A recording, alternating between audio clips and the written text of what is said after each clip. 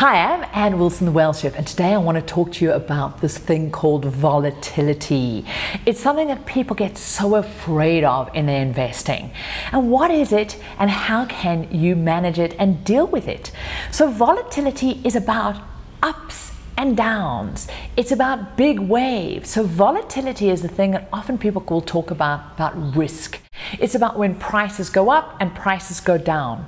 Now, most people, when they think about volatility, they think about the stock market or equity investing because equity investing is one of the most liquid ways you can invest. So, because of the internet and because of access now to literally minute by minute, microsecond, microsecond information around the world. In any moment, you can see what is the price change of stocks or markets as a whole as people buy and sell these things. So, volatility is the rate of change of the price in an asset. You also have volatility in the property market, you have volatility in businesses. But the challenge is those asset classes, it's, it's less easy to get a moment by moment valuation so people don't tend to think of volatility or the ups and downs of prices when they think about those asset classes. So now volatility, this is the rate of change of that price. The price goes up, the price goes down, the price goes up, the price goes down. And the, the rate of it, or the, how fast it changes, or the expanse of that rate of change is known as your volatility index. Now, in, in the world, it's actually the Chicago Board of Options, of something along those lines, the good old Chicago board, simply put, they have a thing called the VIX, and they measure this rate of change or how volatile the market is. Now, when you're going in a bear market, so a bear market is when the market is going down, it might go steadily down, and then your volatility won't be big because it's a one way direction. In a bull market, this is when the prices are going up on the stock exchange, you, again, your volatility index volatility index might be small because it's more of a one way direction. So volatility is more about the up and the down. And so when we're often in a transition between a bull and a bear market, or sometimes we can have long periods of more sideways movement, you often have more change in volatility.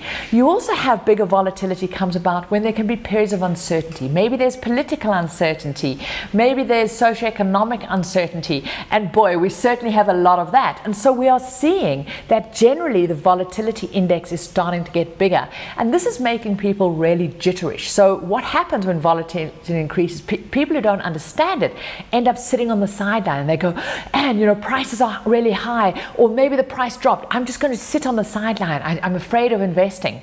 And that's the worst thing we can do. Sitting and not being in a market is super dangerous because when we don't have assets working for us.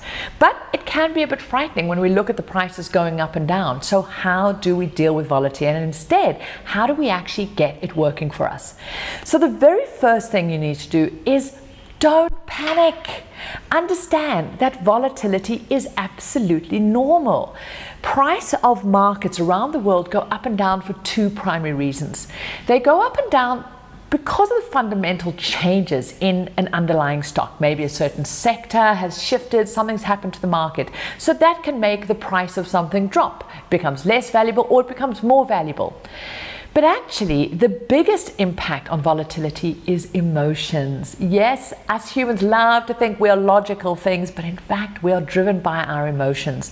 And things can happen out there, the news gets all hyped up, and the market reacts. It's very reactive. So you've got to know volatility is completely normal. And in any trend, be it a bull trend, be it a bear trend, there's still volatility. There's micro movements, mo- second by second, minute by minute, day by day, week by week. But the longer period of time, it all dampens out there's these waves. And so when you start getting perspective and going, we are here about long term sustainable wealth, we are here about getting quality assets working for us, and we really don't give a damn about the minute by minute change, even the hour by hour, the day by day, the week by week change. What we're interested is the longer term trajectory. So you don't panic and you get on with your life and realize volatility is completely normal. That's your first thing you do. So the second thing you do is go and if there's been a big shift and you really starting to get caught, hooked by the media, go and assess the situation and go, okay, why am I investing? What am I even doing in point? Ah, okay, I'm creating my financial well being. I understand I need assets working for me. The stock market, the investment property business, they are all key assets that I need working for me. Okay, so nothing has changed there. What is my strategy that I'm doing? Am I investing in low cost index trackers? Am I managing the things that I can manage? Yes, I am. Great. Can I manage the, the emotions of the market? No, I can't. So come back to what is in your control and just go, has anything significantly, significantly changed? And the truth is, for most of the strategies, certain strategies I teach you about consistent, regular investing in these different asset classes, your strategy is not going to change by short term adjustments in the market. So reassess the situation, come back to your intention, what are you doing, and realizing you just stick with what you're doing. The third key way that we deal with volatility is we buy quality. When we are buying quality, we don't really care about what's happening with the micro movements. And the easiest way to buy quality is we buy via index trackers. We buy the index.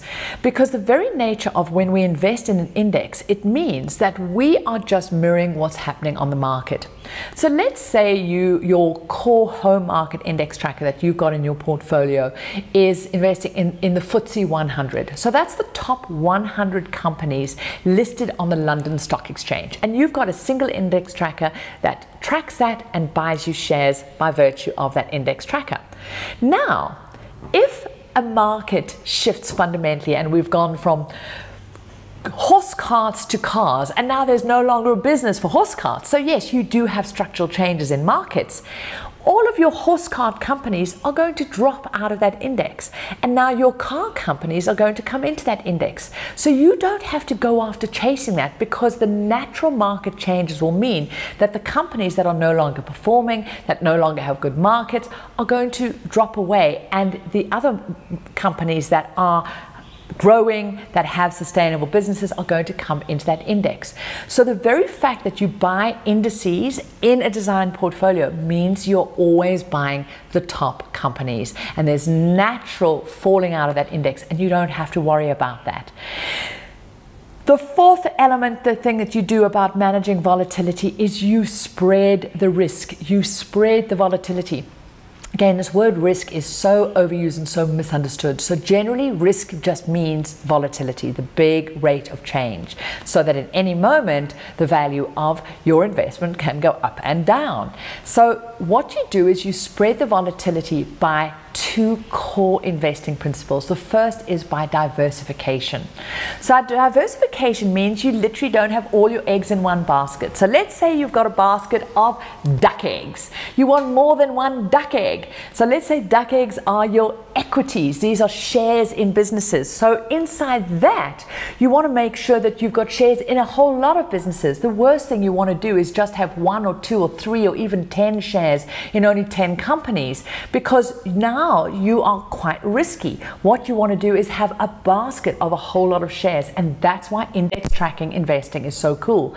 Because by virtue of a single index tracker, let's say in the S&P 500, means with a single investment you've got diversification around the top 500 companies listed in the US.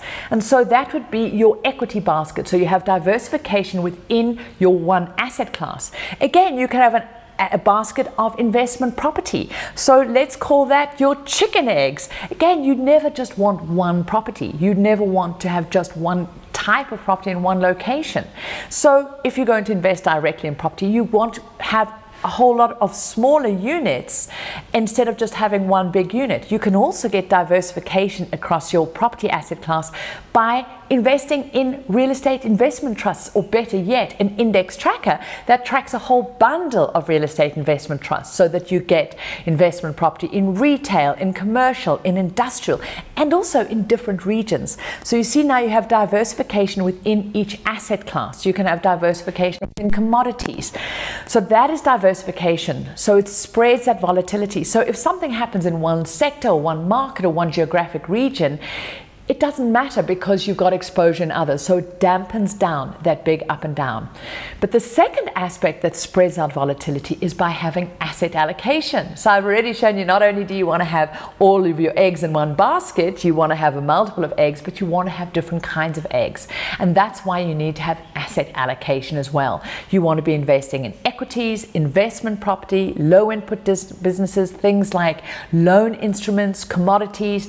So you, because every asset class goes through different cycles. And so when you've got these different investments together, these different volatility cycles up and down dampen together and you get this nice, solid stability and constant growth in your asset portfolio. So, number five, the fifth way to deal with volatility is by regular investing. And this I'm so passionate about. And so many people really get this wrong. You need to be making a habit of regular investing into assets. And the easiest asset class to do it in is your stock market investments in these things called index trackers. And so when you set aside a fixed amount of money and every month that goes in and you buy your units in your chosen index trackers, it means that when the price goes up, you get fewer units for your money. And when the price goes down, you celebrate because now it's on a sale. And for that same amount of money, you get more units in that specific index tracker fund, whether it's in a unit trust type or whether it's in an ETF. It doesn't matter, you get more for your money. And so over time, the average number of units that you buy for that fixed investment balances out and you actually get a lower cost, average cost per unit. So regular investing is the way that you balance out volatility. Regular monthly contributions, so you design your portfolio, you put it on autopilot, Get out there and have fun because that's what you're meant to be doing, not staring at your assets and see how they're performing. You come and do a big annual review and that's it. Get on with your life. So I'm Ann Wilson. If you've been watching this anywhere over than other at thewealthchef.com, head on over there. Leave me a comment below this video. What have you learned about volatility? And which of these five things can you apply in your life right now to deal with the anxiety around volatility, get over it, and allow you to have fun and get on living with your life? Because that's the whole point. Assets, money is meant to serve you to live your greatest life not enslave you, and certainly not stress you out.